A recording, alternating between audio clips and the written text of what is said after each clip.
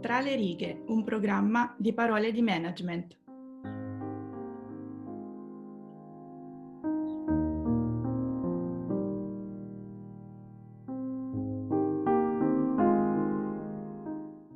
Benvenuti e benvenuti a una nuova puntata di Tra le righe, libri di management per chi li scrive e chi li legge. Io sono Elisa Marasca e con me oggi c'è Federico Faggin, fisico, inventore e imprenditore. Grazie di essere qui.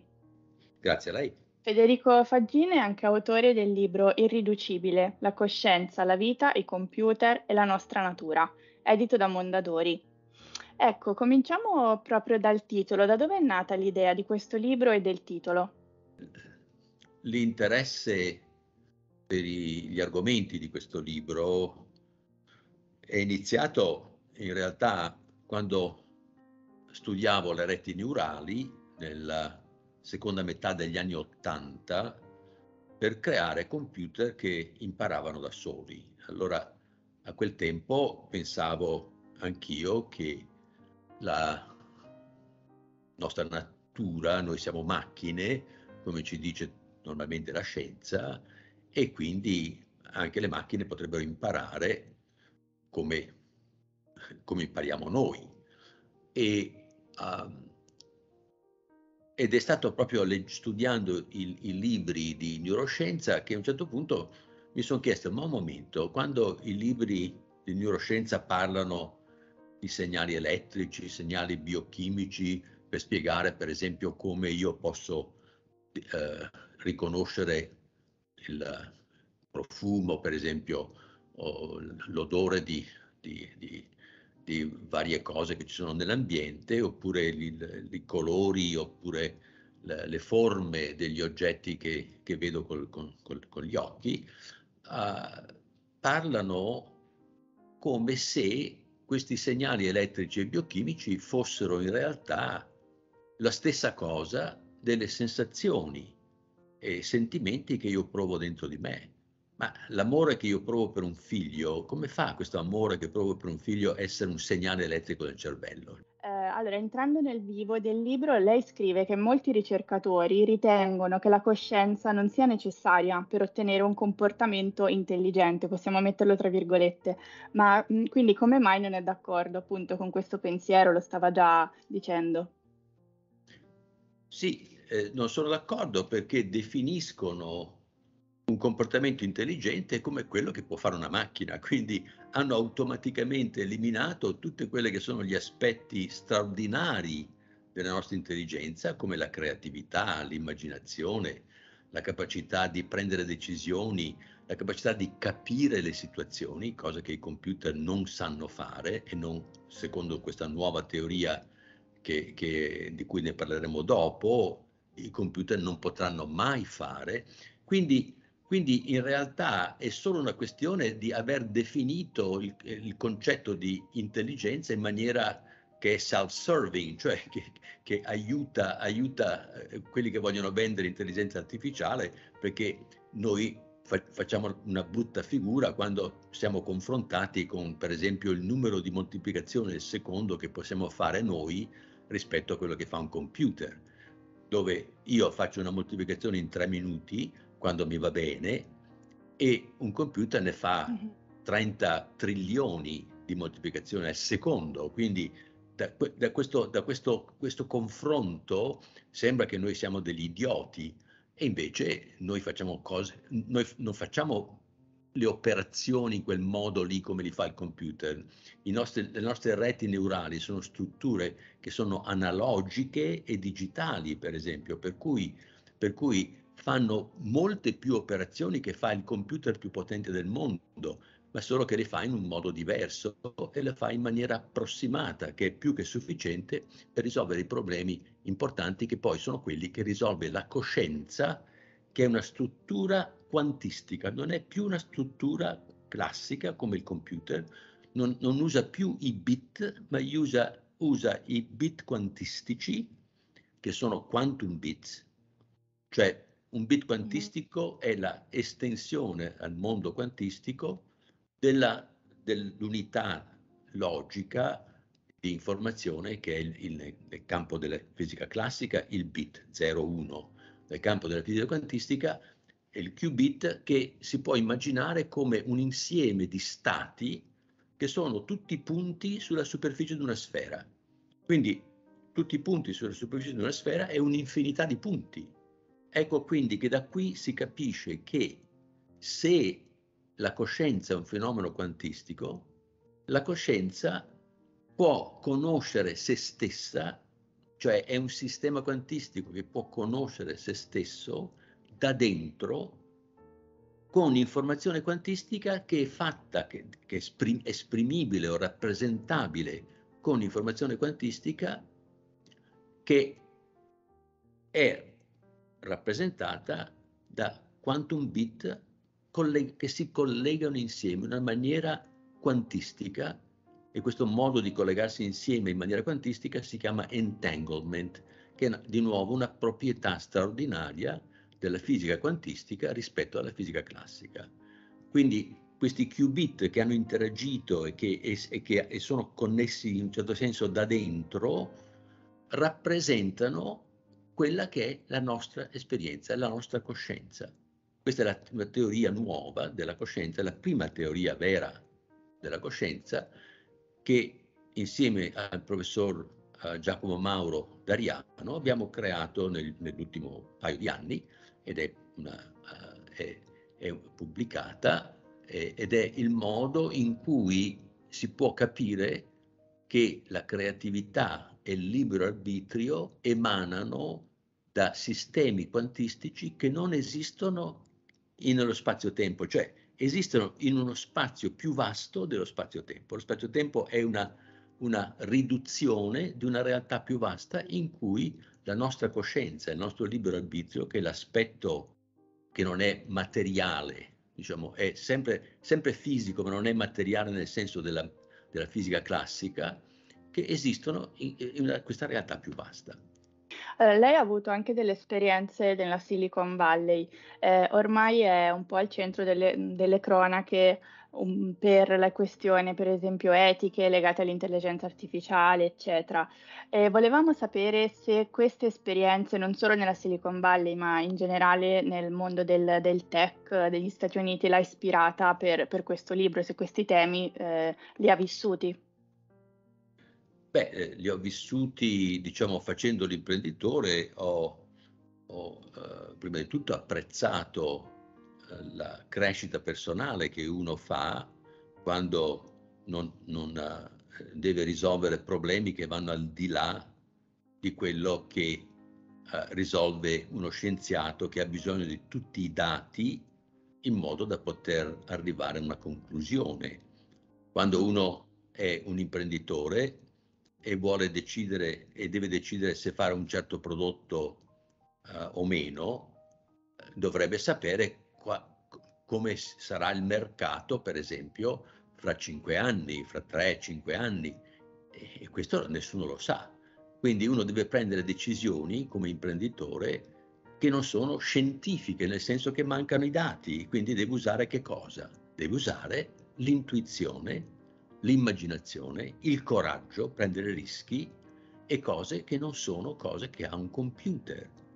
Quindi già qua si capisce che facendo l'imprenditore uno capisce che la realtà è ben di più che la logica matematica che è quella che è alla base dei programmi di un computer, che peraltro mm-hmm. facciamo noi, non li fa il computer. Il computer l'abbiamo creato noi, non viceversa. Il computer non ha creato noi. E qua ci fanno credere questi che ci raccontano la, il, il, futuro eh, brillante dell'intelligenza artificiale che supererà l'uomo, no, non fanno mai i conti con cose così banali come quella che ho appena detto. E quindi mm-hmm. ecco che la, quando, parliamo, quando parliamo di imprenditorialità parliamo proprio di quegli elementi umani che ci distinguono, ci distinguono dalle macchine. Quindi per me vivere nella Silicon Valley è stata una, una, una crescita continua che poi è sfociata in una esperienza straordinaria di coscienza che in realtà mi ha fatto capire che il tutto viene da un'energia che sa d'amore, che è l'energia da cui tutto emerge, l'energia di cui è fatta la materia. E quindi questa esperienza si ricollega con le esperienze di, di, di, di, chi ha scritto i Veda 3500 anni fa, cioè quelle esperienze interiori un, di unità con il tutto che sono possibili quando noi ci apriamo a conoscere chi siamo. Se noi invece pensiamo di essere macchine, pensiamo che queste cose sono stupidaggini, sono impossibili e quindi ci facciamo controllare da chi fa le macchine che con la porticina di dietro può controllarci attraverso le macchine che fanno loro. Quindi dobbiamo stare molto attenti in queste cose perché se noi crediamo di essere macchine ci comporteremo come tali. E questo è il pericolo oggi dell'intelligenza artificiale. L'intelligenza artificiale una, una, una tecno, sono tecnologie importantissime, utilissime, ma devono essere usate ancora di più, con ancora di più etica, senso morale, per il bene comune, invece di essere usate per ingannarci meglio. E il pericolo che c'è invece nel futuro è che queste tecnologie verranno usate per ingannarci meglio, perché sono in realtà un inganno già di per sé. Quando, quando uno dice, ah, il computer è più, più intelligente di noi, dice un inganno, questo è un uomo che lo dice, ma poi lo fa dire anche la macchina e la macchina ripete quello che gli dice l'uomo di dire. Quindi mm-hmm. siamo veramente in una situazione precaria proprio a livello dell'etica personale e dell'uso per il bene comune della tecnologia. Ecco, a questo proposito il testo intreccia teoria e implicazioni pratiche che toccano argomenti come per esempio la differenza tra computer e robot, le problematiche del cybercrime o il contributo appunto dell'intelligenza artificiale nel migliorare l'efficienza dell'apprendimento umano. Ci può fare qualche esempio appunto di implicazione pratica che mette nel libro? Sì, allora il, beh, applicazioni pratiche uh, per esempio, già la traduzione, la traduzione da, un, da, una lingua ad un'altra è un'applicazione pratica che già che è arrivata a essere veramente utile. Però anche qui l'utilità non è per chi non sa una lingua, ma è l'utilità per chi già sa una lingua che risparmia tempo facendo una traduzione automatica prima e dopo trovando gli certo. errori e mettendoli a posto. Allora, uh-huh. allora, in questo modo uno risparmia tempo ed è una cosa veramente utile, la uso anch'io ogni giorno, per modo di dire. Uh, uh, quindi, cosa utilissima, però è utile per chi sa già la lingua, perché altrimenti il, il, il, computer farebbe d- delle traduzioni in cui dice addirittura l'opposto di quello che è scritto nella lingua originale e, e se uno non sa la lingua eh, crede di avere fatto una traduzione corretta e dice, e dice sì quando dovrebbe dire no o viceversa. Quindi sono pericoli gravissimi questi. Quindi fidarsi dell'intelligenza artificiale è folle, che l'intelligenza artificiale può però dare un, un contributo di risparmio di tempo, eh, energia, tutto quello che conta, che è, che, che è molto valido robot più, più capaci di fare lavori più, più, complicati, per esempio, benissimo, ma però allo stesso tempo allora istruiamo le persone che, sono, che, che, no, che, non, non, avevano un job che adesso non ce l'hanno più, li, li, li, li istruiamo a fare qualcosa di meglio.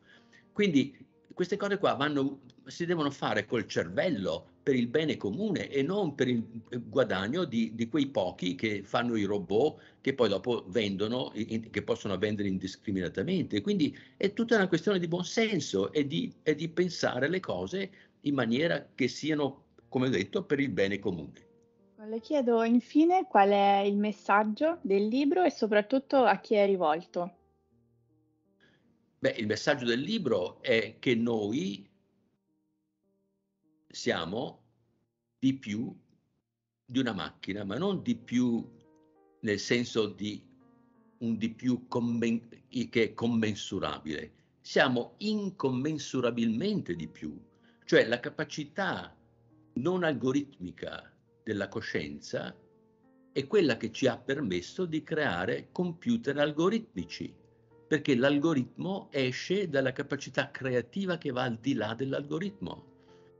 Quindi questo è uno dei messaggi fondamentali. Il secondo messaggio è che la coscienza è un fenomeno quantistico e quindi esiste o può esistere prima che esista il corpo e anche dopo che esiste il corpo che la coscienza usa per avere un'esperienza in questa realtà fisica. Tre, che la, la vita, gli organismi viventi sono sistemi che sono sia quantistici che classici. Ecco perché ci permettono, permettono alla nostra coscienza, che è un sistema puramente quantistico, di operare in un mondo della fisica classica come il mondo macroscopico degli oggetti che usiamo ogni giorno. Quindi abbiamo tre livelli, tre livelli di realtà, quella quantistica, quella classica del computer e, o dei sistemi deterministici come, la, come la, la fisica classica e quella della vita che sono sistemi quantistici e classici, fatti di parti che sono anche interi, perché ogni cellula del mio corpo contiene il genoma dell'uovo fecondato che ha creato il corpo. Quindi ogni parte del mio corpo, la cellula, ne ho 50 trilioni, come anche lei, ogni cellula contiene la conoscenza potenziale del tutto, cioè dell'organismo intero.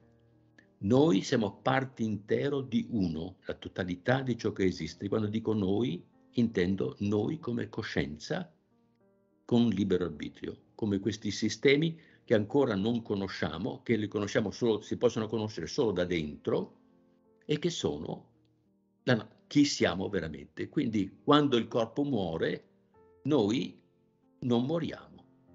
Mi sembra che sia un messaggio positivo. E quindi a quali generazioni è rivolto il libro, secondo lei?